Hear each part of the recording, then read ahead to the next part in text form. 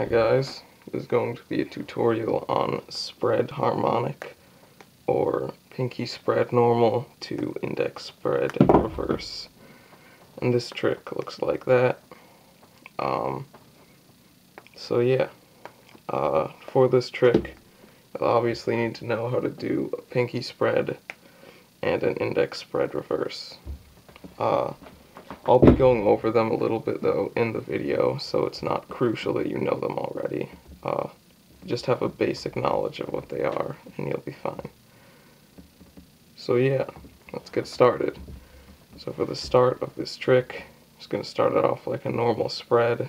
Uh, most of the weight facing away from the back of your hand, hand in a closed fist position with the pen in between the pinky and ring fingers, like this.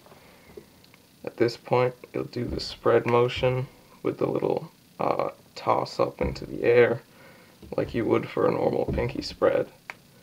Then at this point, you're going to toss the pen up, and once it completes one rotation, you're going to bring this finger in and push out or extend the index finger like that so that you can catch it in between the index and the uh, middle finger.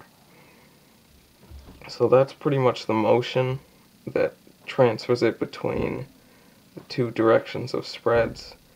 Uh, so you get to here, and then you do your inverse spread, or your reverse spread, which is just bringing this finger down while pushing up like that.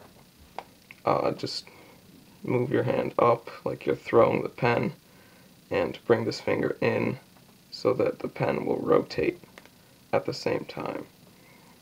So start here, go to there, move your hand up like you're throwing it, bring this finger in, the pen will rotate, one more rotation, and then you do the same thing.